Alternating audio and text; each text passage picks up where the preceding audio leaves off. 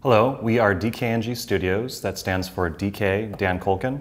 I'm NG Nathan Goldman, and we are a design and illustration studio based in California.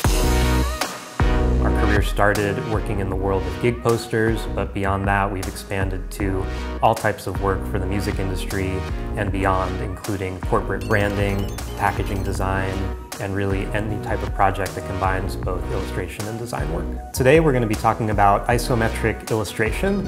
A lot of people may recognize that as SimCity style or kind of a three-quarter overhead view an ability to create a three-dimensional geometric illustration. Isometric illustration is a way of equally representing three sides of an object, having light source and shadow, and we find it to be more of a step-by-step, easy-to-follow approach to creating something that realistically has three-dimensionality to it.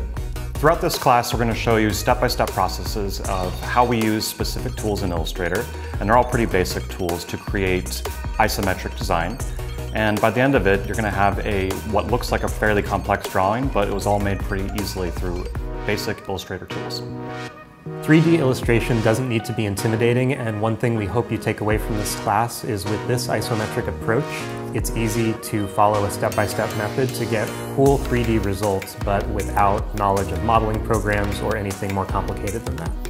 As you're taking this class, please post to the project gallery. We would love to see your process and your final product. We're excited to have you in the class, and let's get started.